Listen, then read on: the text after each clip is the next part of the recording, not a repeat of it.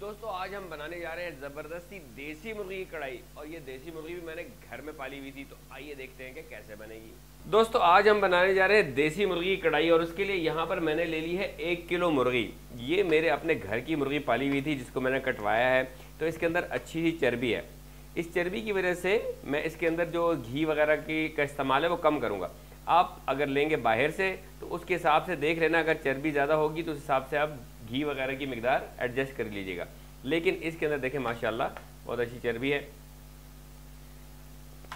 तो अब यहाँ पर उसके लिए मैंने ले लिए कढ़ाई, और कढ़ाई को मैंने रख दिया चूल्हे के ऊपर। और इस कढ़ाई के अंदर मैं शामिल करूँगा पहले देसी घी। तो थोड़ी सी तो कोशिश करूँगी उसको ज़्यादा देसी अंदाज में पकाया जाए। तो देसी घी मैं इसके अंदर शामिल कर रहा हूँ एक फुल हीब्ड खाने का चम्मच, और कुछ ज़्यादा। और इसके अलावा जो उसके अंदर अपना चर्बी का घी बनेगा, वो भी अलग से शामिल है। तो अब इसके नीचे मैं आग रोशन कर देता हूँ। देसी चिकन हो और देसी घी हो तो मज़ा ही कुछ और है। वैसे अगर आप लोगों के पास सरसों का ऑयल हो, वो भी इस्तेमाल कर सकते हैं, क्योंकि सरसों का ऑयल भी एक अच्छी चीज़ है, एक अच्छा तरीका कार इसको बनाने का। जब हमारा घी थोड़ा गर्म हो जाएगा तो हम एक एक करके इसके अंदर वो पीसेज अपने शामिल करते जाएँगे। बिस्मिल्लाहिर्रहमानिर्रहीम।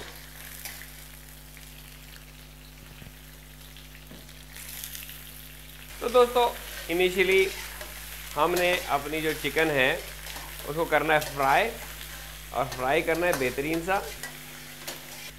आप ये देख सकते हैं, ये जो शुरू शुरू में हमने अपना पीस शामिल किया, उसके ऊपर ऑलरेडी कलर आ चुका है। तो हम फ्राई करेंगे तेज़ आग पर। और जो हमारी चिकन इसको हम उलटते पलटते रहेंगे ताकि हमारी जो चिकन है वो चारों तरफ़ से और सारे के सारे पीसेज जो है उसके वो फ्राई हो जाएँ उसके ऊपर एक अच्छा सा कलर आ जाए। तो दोस्तों, मैं आपको ये दिखाता चलूँ। आपको मैंने पहले पिछली वीडियोस में दिखाया है। अगर आप लोग घर में ये नहीं है तो ये बहुत ही कारामद शे है, बहुत सस्ती सी मिल जाती है, दो सौ, ढाई सौ रुपये की मिल जाती है और इससे आपके लिए पकड़ना जो है, आपके बर्तनों को, गर्म बर्तनों को और उसको हैंडल करना बहुत आसान हो जाता है। तो ये हर घर की एक ज़रूरत हो सकती है, एक मांग हो सकती है। बहुत आसानी से आप किसी लोकल स्टोर में इन मिल जाएगी। और अगर लोकल स्टोर में ना भी मिले तो आजकल तो ऑनलाइन का ज़माना है तो ऑनलाइन तो आपको मिल ही जाएगी। तो दोस्तों, अब स्टेज पर जबकि हमारी जो चिकन है, उसके ऊपर कलर आ चुका है हल्का सा। तो अब इसके ऊपर हम, इसके अंदर हम शामिल करेंगे। इसके अंदर मैं एक टेबल स्पून जो है, वो लहसुन का पेस्ट शामिल करूँगा। और एक टेबल स्पून इसके अंदर मैं अदरक का पेस्ट शामिल करूँगा। क्रश कह लें आप इसको।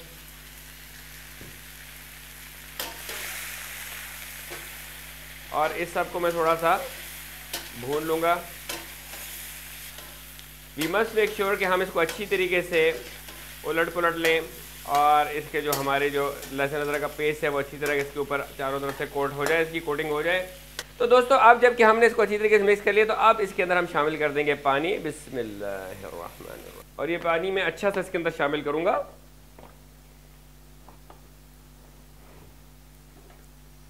आग इसके नीचे तेज़ी रहेगी, फ़िलहाल। और साथ ही मैं इसके अंदर शामिल कर दूँगा टमाटर। बिस्मिल्लाहिर्रहमानिर्रहीम।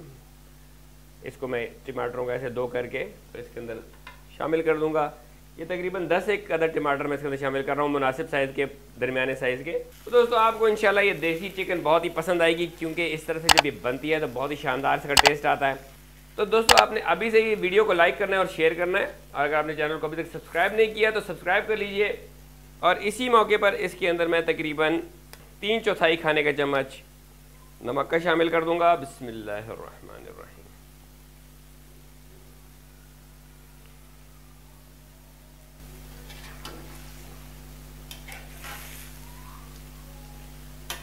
और थोड़ा सा इसको मिक्स करूँगा।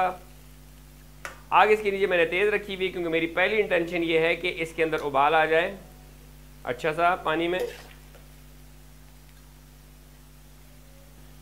तो दोस्तों, अब इसके अंदर देखिए, अब उबाल अच्छा सा आ गया है तो अब इसके नीचे मैं आग को मीडियम लो कर दूँगा। और इसके ऊपर ढकना ढक दूँगा। और यूँ ही मैं इसको 45 मिनट के लिए पकाऊँगा।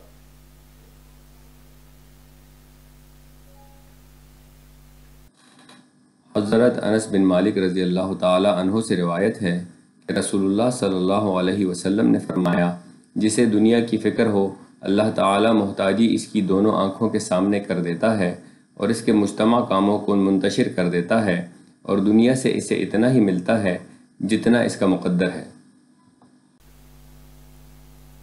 तो दोस्तों, अब तकरीबन पौना घंटा गुजर चुका है तो हम इसका ढकना उठा लेते हैं। बिस्मिल्लाहिर्रहमानिर्रहीम।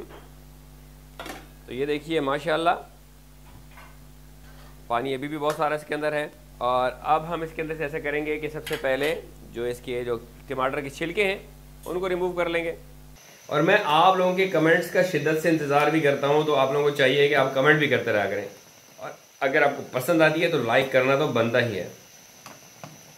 और अब इसके नीचे हम आग कर देंगे तेज़, ताकि इसका पानी हो जाए खुश्क। और जब ये पानी इसके अंदर उबल रहा है तो इसके अंदर मैं दो चीज़ें और शामिल करूँगा। आधा चाय का चम्मच मैं इसके अंदर शामिल करूँगा। हल्दी का, बिस्मिल्लाहिर्रहमानिर्रहीम।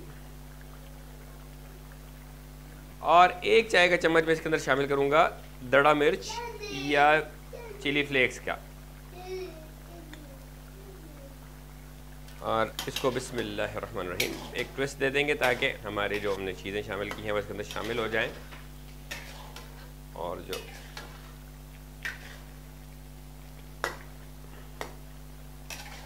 अगर कहीं हमको किसी टमाटर वगैरह में कुछ छिलका बाकी बचाया बचा हुआ नज़र आएगा तो हम उसको भी साथ साथ निकाल लेंगे। तो दोस्तों, जब इसका पानी खुश कर रहे होंगे और फिर हम इसकी अच्छी तरीके से भुनाई करेंगे तो टमाटर अच्छी तरीके से इसके अंदर घुल जाएँगे। ज़बरदस्त, इंशाल्लाह, ग्रेवी तैयार होगी। आप इसका खुशनवा सा रंग देख रहे होंगे।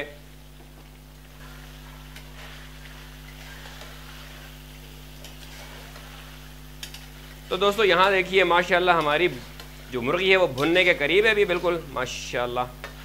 बहुत ही शानदार रंग और खुशबू भी बहुत प्यारी है। देसी घी की महक सी उठ रही है।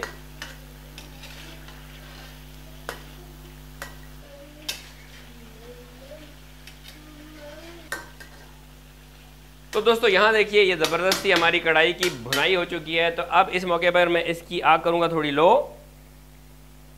और मैं इसके अंदर शामिल करूँगा फिटा हुआ दही, तकरीबन आधा कप। बिस्मिल्लाहिर्रहमानिर्रहीम। और इस दही के साथ अब इसकी होगी भुनाई तो इसके लिए मैं दोबारा आग को कर दूँगा तेज़।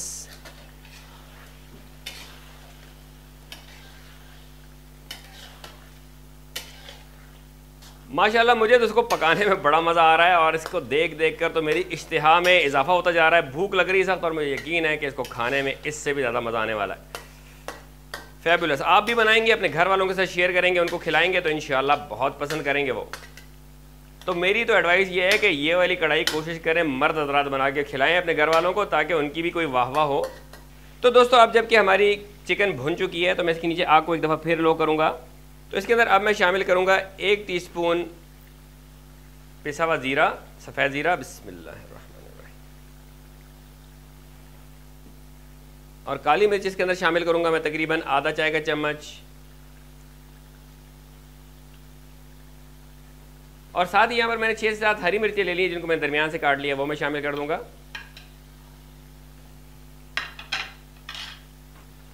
और अब इसको इसी लो आग पर ही, लो फ्लेम पर ही मैं मिक्स करूँगा और पकाऊँगा थोड़ी देर।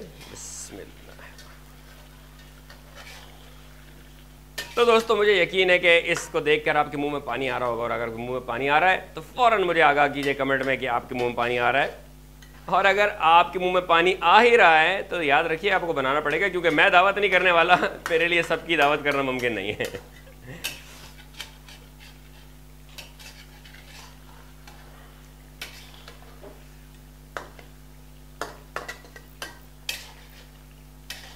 यहाँ देखिए दोस्तों, ज़बरदस्ती हमारी कढ़ाई जो है ना, माशाल्लाह, वो अपनी एंडिंग पर है।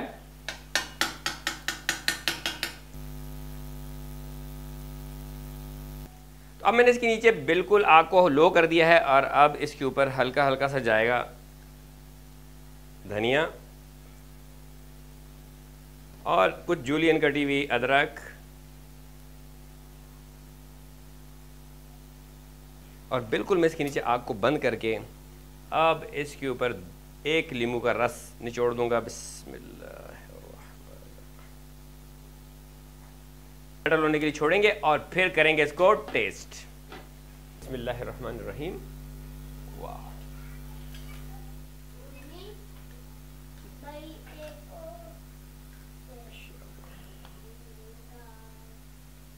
फेबुलस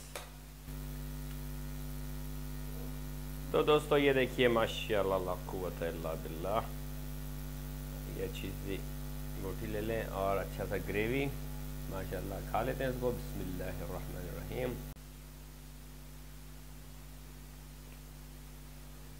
वाह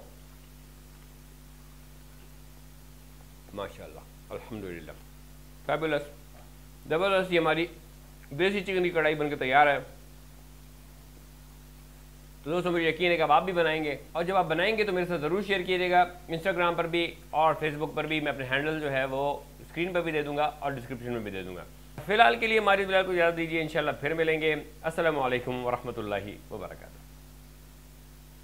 दोस्तों, मेरी वीडियो को आपने लाइक ज़रूर करना है और शेयर भी करना है अपनी फैमिली और फ्रेंड के साथ। और दोस्तों, आपने कमेंट करके मुझे बताना भी है कि रेसिपी आपको कैसे लगी। और जो ये आपके कमेंट्स होते हैं, आपके लाइक्स होते हैं और आपके शेयर जो होते हैं, ये तमाम की तमाम हमारी हौसला अफजाई के लिए बहुत कारामद साबित होते हैं। हमें बहुत अच्छा लगता है। तो जो भी दोस्त मेरी वीडियोज़ पर कमेंट करते हैं लाइक करते हैं शेयर करते हैं, उन सबका बहुत बहुत शुक्रिया।